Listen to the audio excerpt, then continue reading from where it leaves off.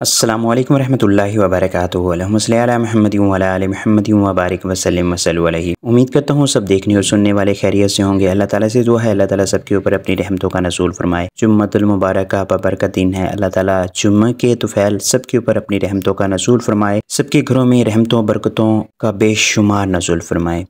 اللہ تعالیٰ نیک عمل کرنے کی توفیق عطا فرمائے۔ پیارے دوستو، اپنے لبوں کو درود پاک سے سجا لیں۔ نبی کریم صلی اللہ علیہ وآلہ وسلم کی ذات اقتص پر اسلام کے نذرانے پیش کریں۔ پیارے دوستو، میں نے آپ لوگوں کو بتایا تھا کہ ویڈیو میں آج جو بناؤں گا وہ مکس سیڈ کے حوالے سے ہے۔ بریڈنگ سیزن کے حوالے سے ہے کہ بریڈنگ سیزن میں آپ لوگوں نے کون سا دانہ دینا ہے۔ جو نہ صرف پرندوں کے لیے بہت مفید ہے، پرندوں کو اس سے بھوک لگے گی۔ پرندوں کے اندر کیلشیم اور وٹامنس کی جو کمی ہے، وہ بھی پوری ہوگی۔ اور یہی دانہ اگر آپ لوگ جب آپ کے پاس بریڈنگ کا آغاز ہو جائے گا، بچے نکلنا شروع ہو جائیں گے انڈوں میں سے، تو اس ٹائم بھی دیں گے تو یہ چار چاند لگا دے گا بچوں کی گروتھ میں پیداوار میں بھی۔ تو پیارے دوستو، آپ لوگوں نے دانہ لے لینا ہے، مکس سیٹ لے لیں یا خود لے کر آپ خود بنا لیں لو برڈ کا جو دانہ ہے یا جو بھی پرندے آپ کے پاس موجود ہیں، سب کا دانہ آپ اپنی کوانٹٹی کی اپنی مقدار جو آپ لوگ دے رہے ہیں مکس بھی لے سکتے ہیں، خود بنائیں گے تو وہ آپ لوگوں کے لیے زیادہ بہتر ہوگا۔ تو یہ دانہ بنا لینا ہے، اس میں آپ لوگوں نے یہ خیال رکھنا ہے کہ آپ لوگوں نے تھوڑی سی مقدار باجرے کی لازمی شامل کرنی ہے۔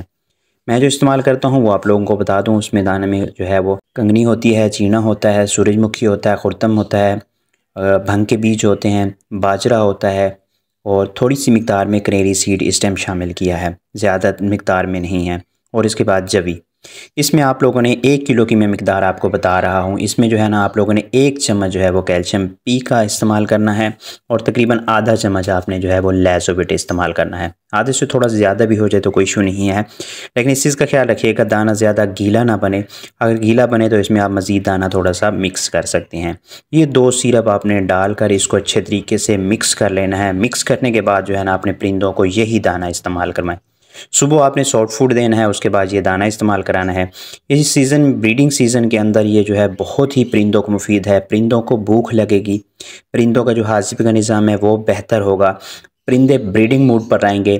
پرندے بریڈ اچھی کریں گے۔ اور بریڈ کے بعد جو ان کے چکس آئیں گے، تو یہ ان کی گروتھ کے لیے بھی بہت مفید اور کار آمد ثابت ہوگا۔